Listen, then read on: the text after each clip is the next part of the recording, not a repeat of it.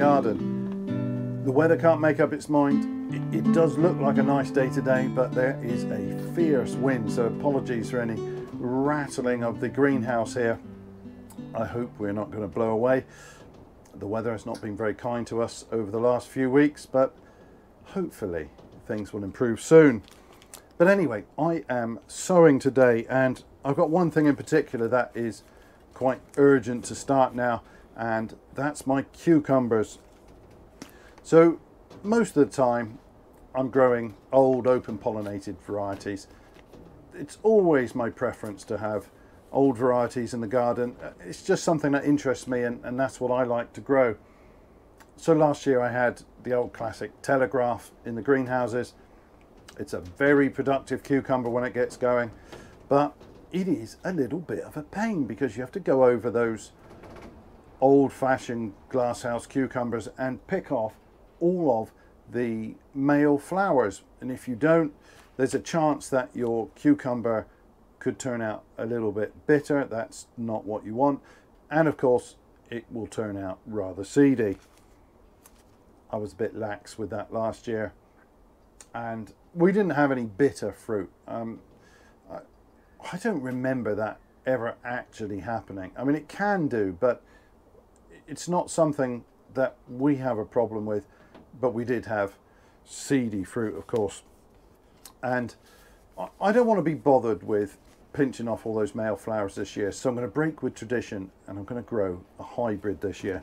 Now, they can occasionally produce male flowers, but generally speaking, these are so-called all-female hybrids. So most of the flowers, and if, if they're not stressed, then most of those flowers will be females and you don't have to muck about with them. So I have very little experience with hybrid varieties.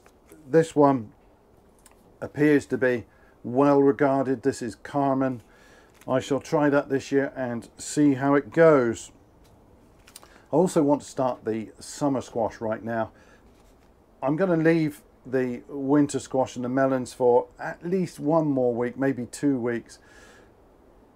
I found that an early sowing of those doesn't necessarily perform that well. I think a slightly later sowing so that they're planted out when conditions are a little bit more favourable that always seems to do better. So sometimes I've actually done two different sowings and, and it's the latter one that's always performed better for us. So I think I will leave that for another week or two.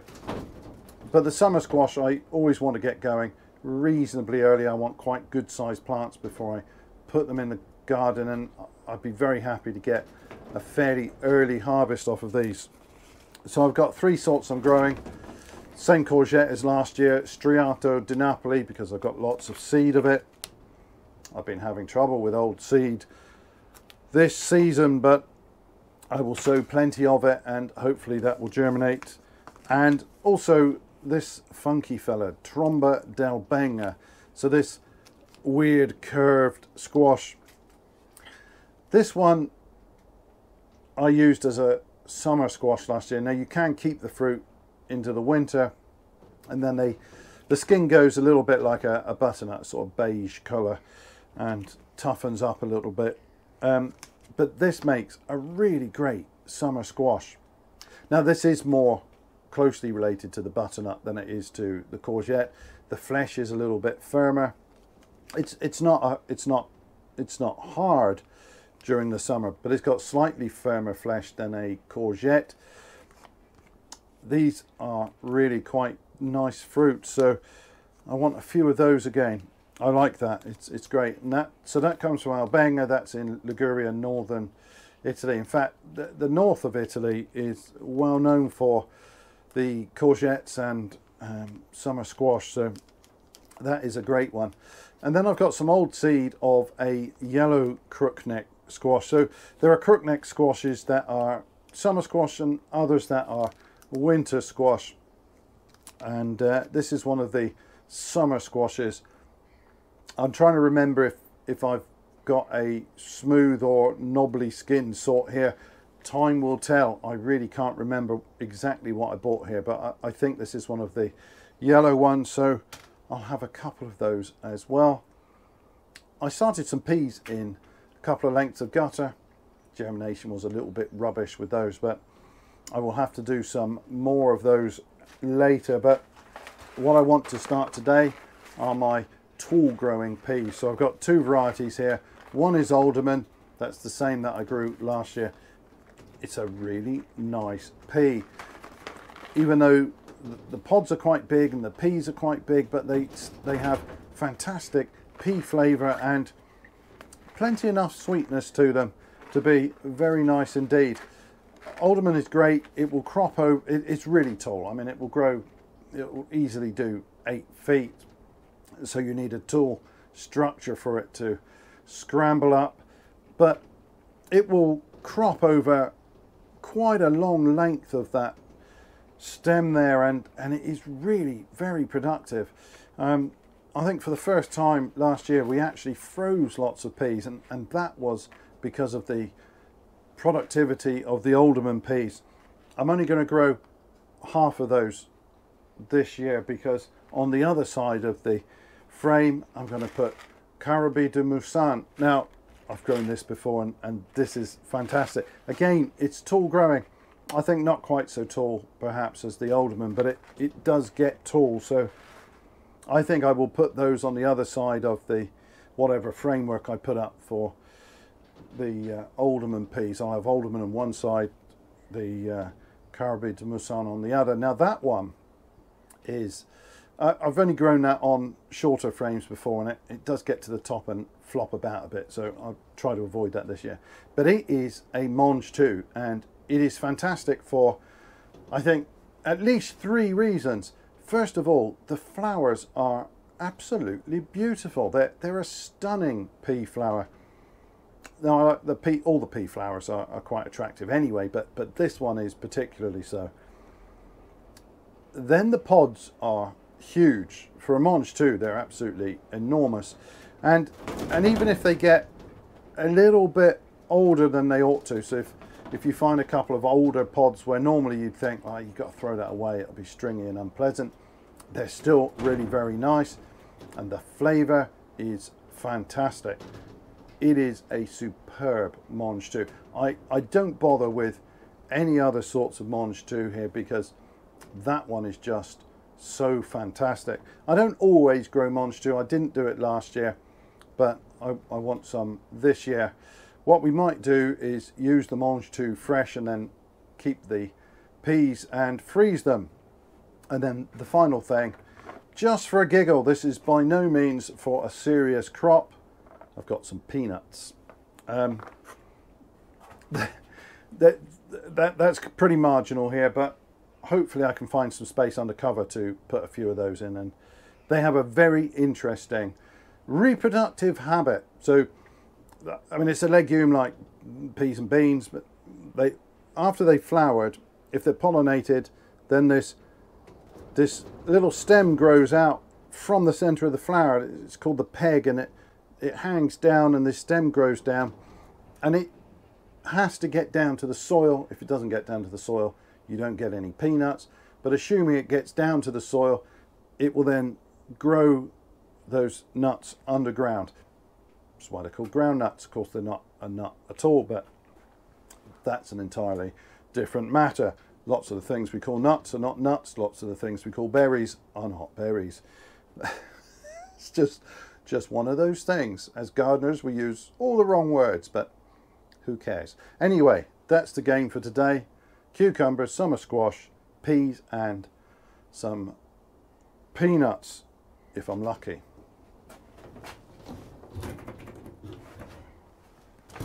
So I'm going to start my cucumbers and squash in little pots.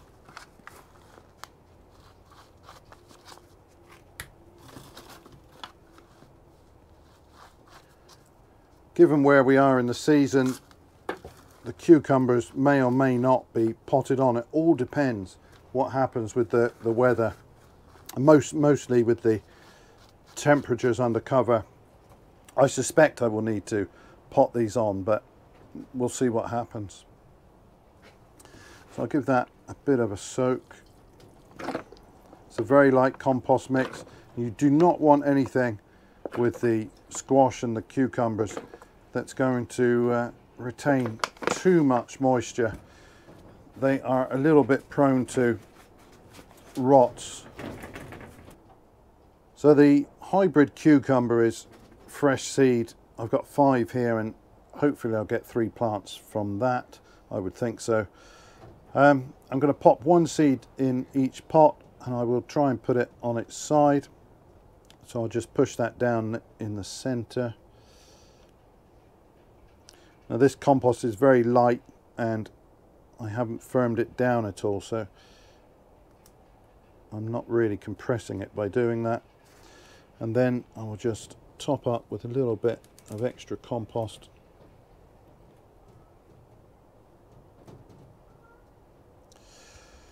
I will probably give that just another splash of water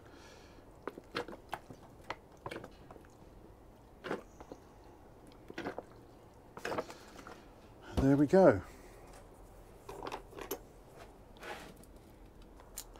so for the courgettes I probably only want two plants I'm going to sow three pots but this is old seed so I'm going to put three in each pot and I'm pretty sure at least one of each will germinate.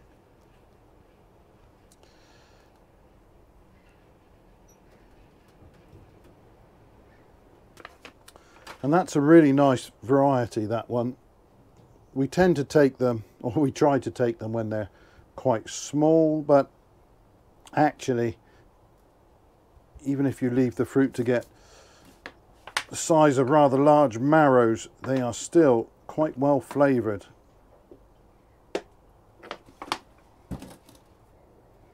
So exactly the same for the yellow crookneck. This seed packet hadn't been opened, but it's it's not fresh, so uh, I'm just going to be cautious and sow three per pot.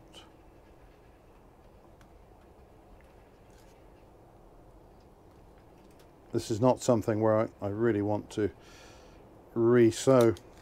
And again, I'm, I'm sowing them on their edges because, well, that's the traditional way to do it. And the idea is that if you water from above, the water doesn't sit on a, the flat of the seed. It, it will drain off nicely. Of course, if you're watering from below, it doesn't really make any difference. I don't know how important that point is, but that's the way I've always done them. So I want to make sure that these pots are nicely hydrated when I sow them.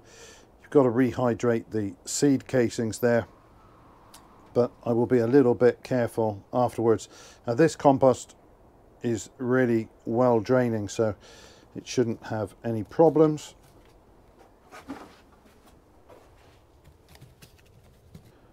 So the last of my cucurbits here is the Tromba d'Albenga.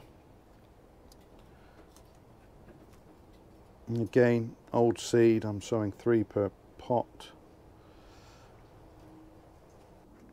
I'm going to start the peas in these fairly deep cell trays and I do have another one where the cells are, are bigger and, and deeper but I think this one is absolutely fine for the peas.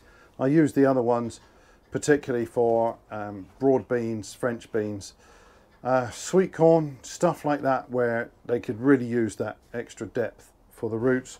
The peas should be quite happy in these. I've used these for peas before and I think they're fine. I probably just need one tray of each. I might sow a third tray half and half, but yeah, these should be fine. So first I will just fill that with compost quite loosely to start with. This really is very light stuff.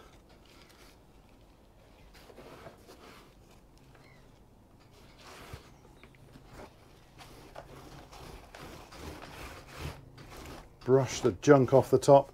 Now the compost has been sieved, but of course small bits of junk go through the sieve and then I can push these down a little bit and that should give me the right sort of depth to sow the peas.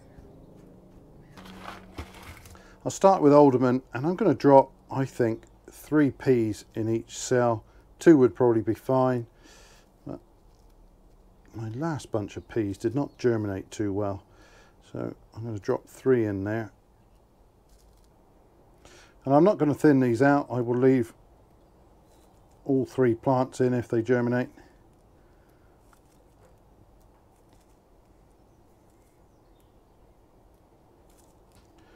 Plant them out in little clusters. It's perfectly all right. Peas don't seem to mind. These don't need any warmth to germinate really. I will put them in the polytunnel though on the hanging shelf out of the reach of critters that might otherwise like to eat our peas.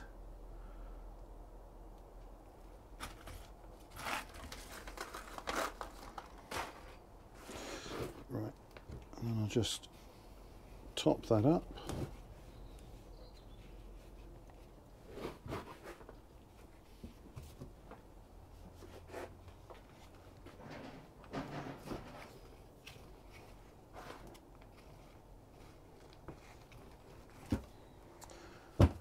and give that a really good soak.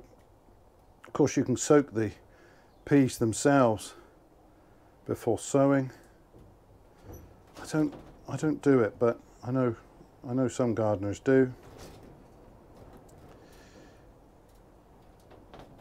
But I will make sure that this compost is properly moistened. So the last thing on the list is the peanuts.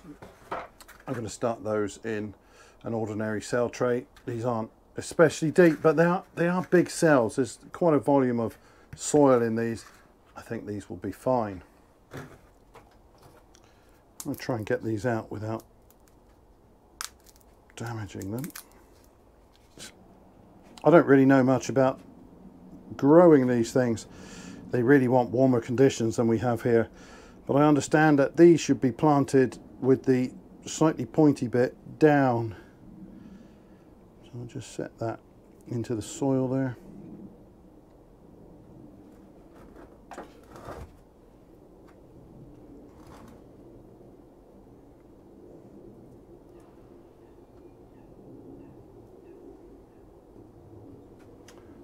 If I should use a bigger tray.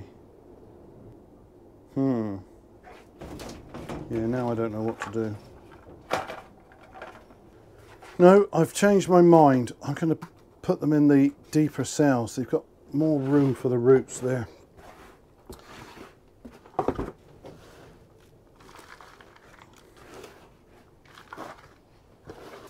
Right, I think that's better. I'm, I'm having to push these down a reasonable depth, so I think they would appreciate the deeper soil in these trays.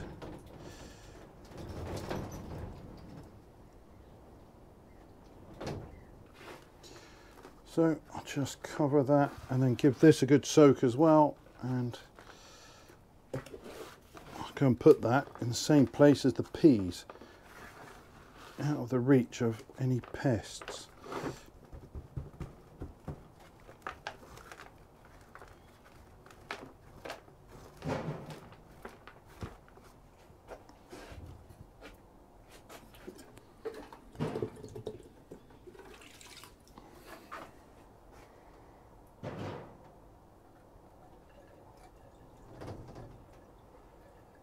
Well, that's me all caught up with the sowing for now, but of course there's lots to do in April.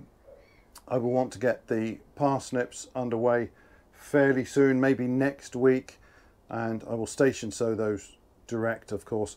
Um, then there will be the winter squash and the melons in a week or two.